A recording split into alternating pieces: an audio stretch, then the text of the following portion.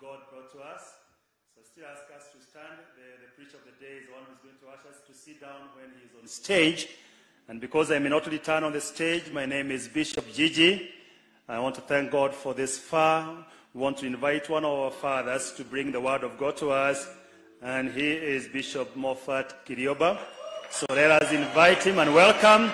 He will ask us to sit down when he is on stage. Amen. God bless you.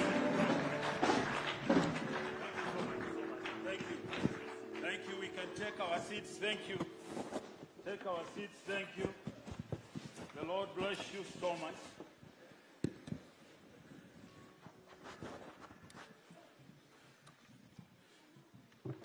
Thank you. I was trying to jump, but I used to jump very high. I can't jump very high now. I don't know why. Uh, I seem to be so much stuck on the ground.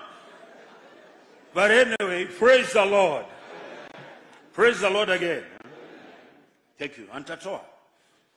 Thank you.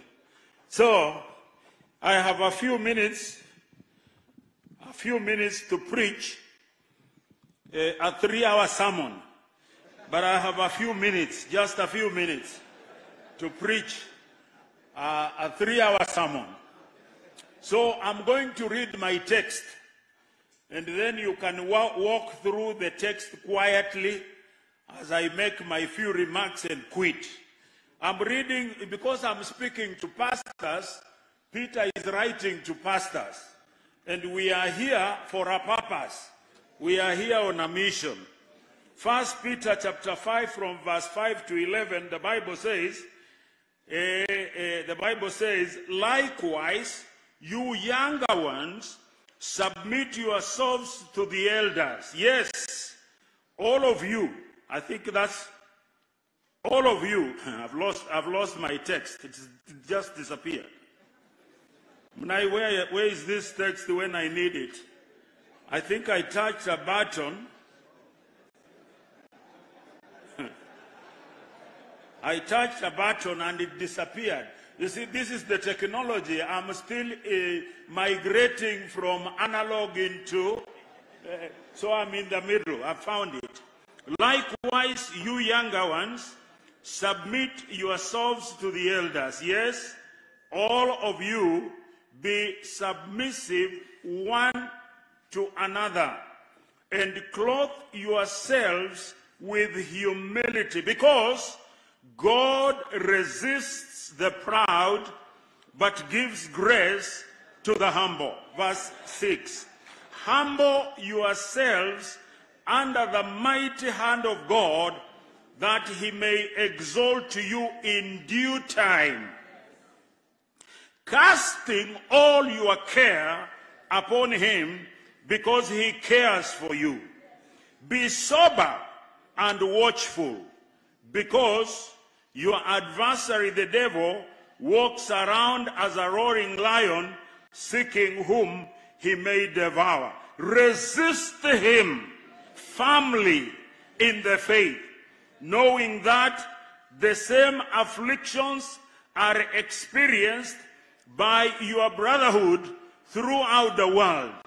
But after you have suffered a little while, the God of all grace, who has called us to his eternal glory through Christ Jesus, will, number one, restore, support, strengthen, and establish you. To him be glory and dominion forever and ever. Amen. I love it. I'm ready to preach now. But I'm not going to preach. I'm going to restrain myself not to preach.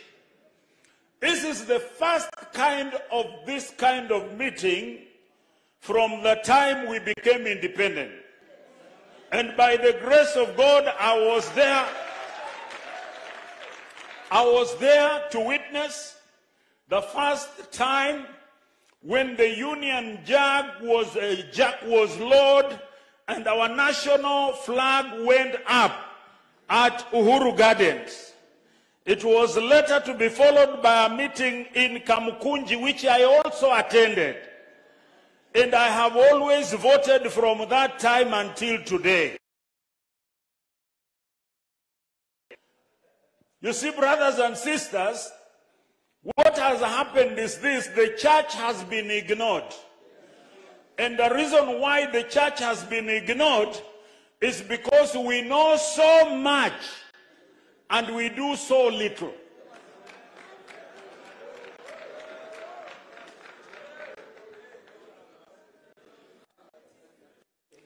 We said one can chase how many? But two? What about a thousand?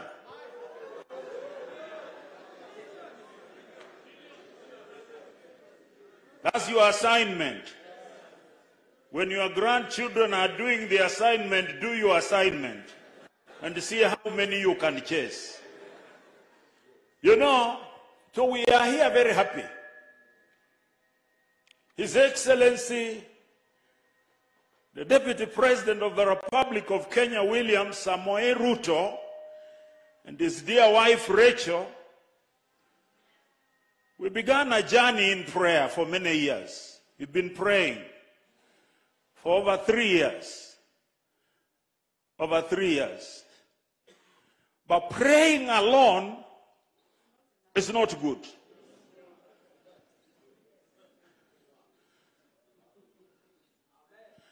I said praying alone is not good.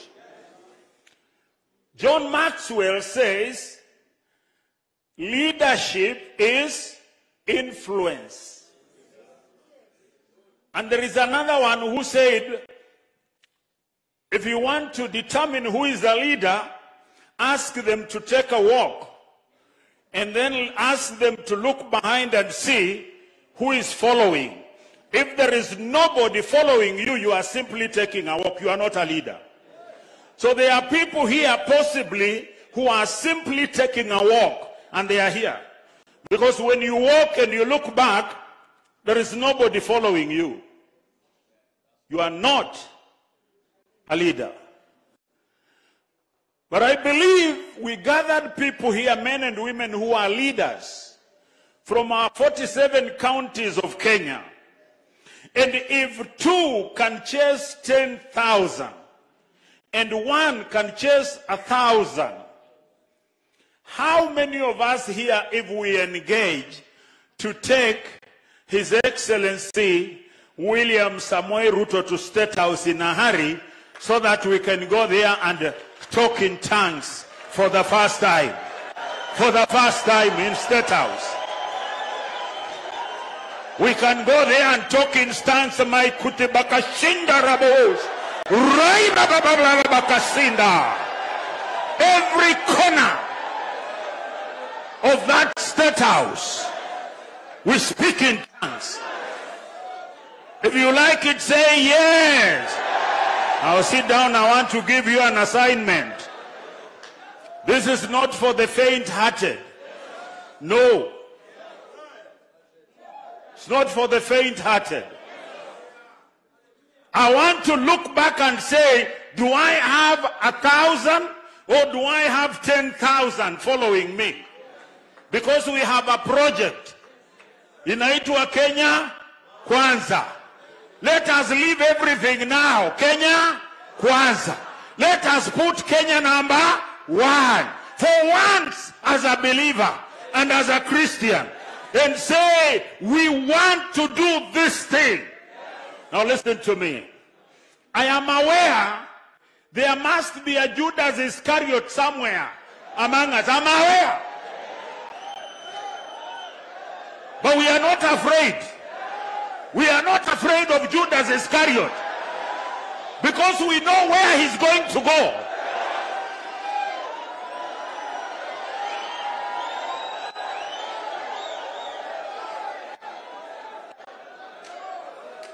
I'll be voting. I'll vote by six in the morning. I'll be the first in my polling station to vote by six. And after I finish voting at six, then I will walk around to observe the voting, how it's going. I'll be visiting polling stations to see how things are going. but I'll vote by six. Please, you make sure you vote. You make sure you vote. Amen. And vote where it counts. Don't vote where you are going to lose. Vote where it counts. That's number one. Number two, you make sure you mobilize all your voters, all your leaders to vote. Speak about it. Tell them go and vote because it is your right to vote. Amen. Go and vote. Saa zingine hawa vijana wengi wanapiganga muziki lakini hawana kura. Make sure they vote. Those who have got kuras, let them vote. Amen. On that day, mobilize. That's how we can help our nation. That's how we can have an impact. That's how our vote can begin to count. For once, as believers, when we speak, the nation will listen. Because they will know if you play with these people, they can hire you and fire you.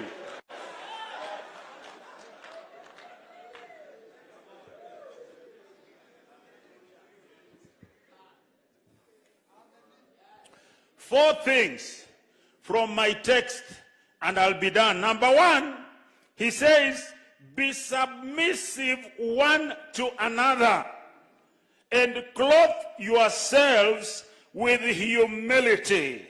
Why? Because God resists the proud but gives grace to the humble. God resists the proud but gives grace to the humble. Submissive is not weakness. No. You are submitting under the mighty hand of God. And God, at His own timing, He is going to exalt you. He's going to lift you up.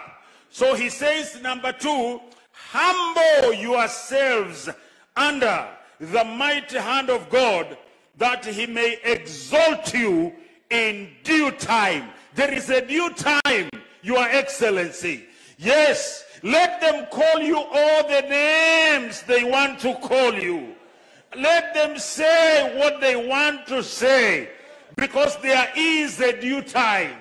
And in due time, God is going to bring you where you are supposed to be.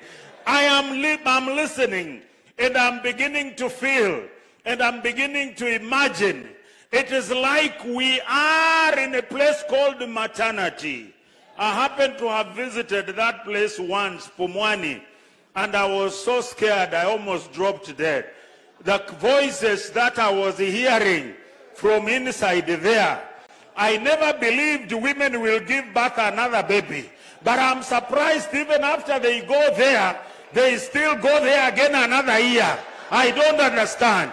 But then I was told, I was reliably informed, when the baby is due for delivery, what you need is strength to push. Strength. Believers, as we live here, we are asking God for strength to do what? To push. Because for sure, the baby, the baby is going to be born, for sure. On 9th of August, the baby is going to be born. Eh, and we have checked, we have done these uh, uh, uh, scientific tests. We know he's going to be a boy. We know that after doing our scientific tests. And we have also checked and we know we have, we have a name. We have a name. Uh, God gave it to us. And we saw this name some years ago. Let me tell you something. This is the first man from the time we became independent who stood up and promoted the, the, the translation of the Bible. First man. He was not ashamed. We realized over 40 million Kenya shillings, no, over 400 million Kenya shillings towards the translation of the Bible. And this is the man who led the bandwagon. When I saw this man do this, I said, no, there's something about this man that we don't know. We need to give him an opportunity. We need to give him time. Kenya will be somewhere. So, as you leave,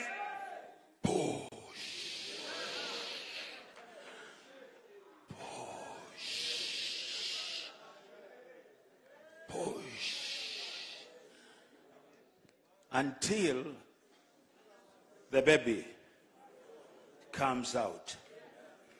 Number three, cast all your cares upon him because he cares for you.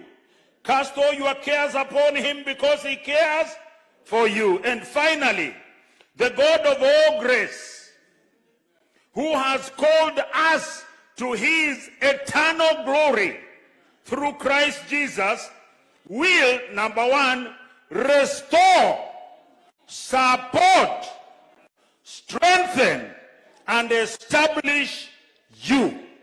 Your Excellency, the God of all graces, who has called you to his eternal glory through Christ Jesus, will restore, support, strengthen, and establish you. Even when they are thinking you don't have support, God will give you support. He will strengthen you and establish you in Jesus' name. God bless you. Thank you.